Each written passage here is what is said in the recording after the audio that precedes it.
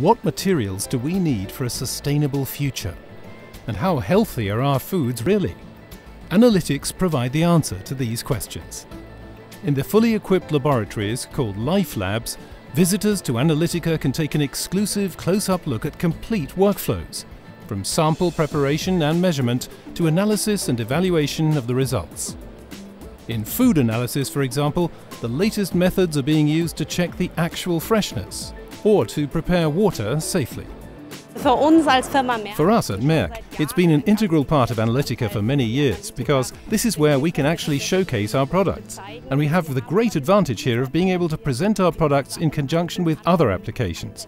That means it's not just about the product itself, it's about the application as well. In practice, the latest trends in food and material analytics become clear, boosted by food scandals, but also the complexity of new substances. In both areas, the life experiments are being met with great interest. The Live Lab at Analytica is a great way for visitors to get an overview of different methods within a very short time.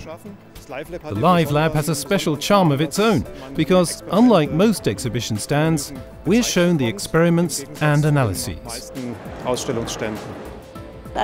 Judging solely by the number of spectators here, the applause at the end and the actual length of the discussion, it has to be said that it's an important event. It's very popular. There are three shows a day, and that also shows that there's a corresponding enthusiasm for it new technologies, hands-on experiments, and insights into the laboratory of the future.